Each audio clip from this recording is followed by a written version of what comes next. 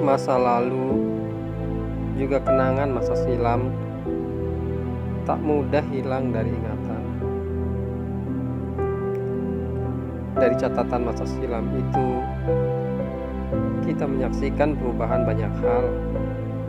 Saya, Anda, dan kita semua berubah. Waktu memang telah mengubah banyak hal. Orang-orang berubah, kehidupan juga berubah. Orang-orang yang dahulu dekat ini menjadi asing. Banyak orang yang dahulu tidak punya, sekarang memiliki banyak hal. Begitupun sebaliknya. Meski berubah, tapi ingatan dan kenangan kita seperti tak pernah berubah. Seperti lirik lagu yang dinyanyikan oleh Dik Doang.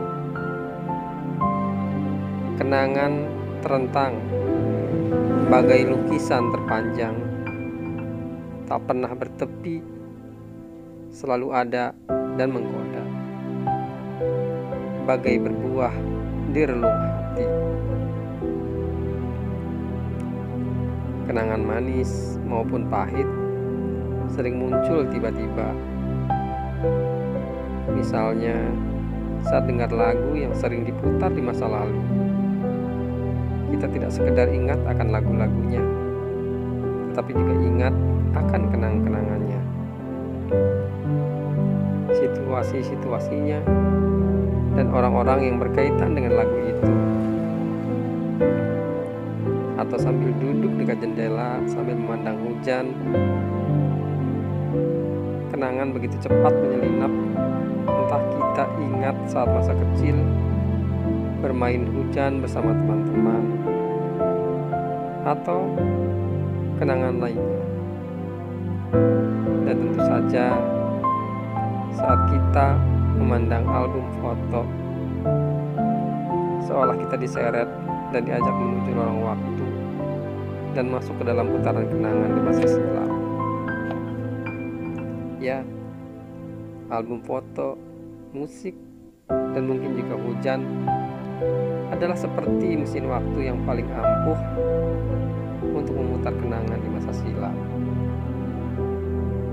Mungkin sahabat juga sering mengalami hal itu saat mendengar musik atau melihat album foto. Tiba-tiba ya mata kita mengalir tanpa sebab luka, atau derita. Atau juga tiba-tiba kita tersenyum teringat kenangan lucu dan bahagia. Ah, menjadi tua memang kadang sentimental. Seringkali kangen pada masa lalu.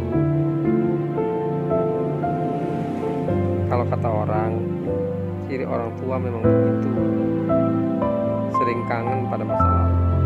Sering ngomongin masa lalu. Makanya orang-orang tua hobinya. Tapi tentu saja masa lalu adalah masa lalu. Ia tak boleh membelenggu masa kini apalagi masa depan.